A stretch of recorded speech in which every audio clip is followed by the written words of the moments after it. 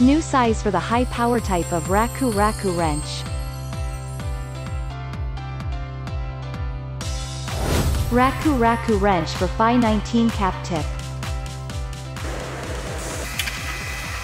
If you use a pipe wrench, the shank may come off together and it may take more time to replace the tip. Raku Raku wrench for Phi 19 cap tip is available for cap tips with a tapered hole of Phi 14. It fused shank taper part from abrasion, and help reduce the time and manpower required for tip replacement.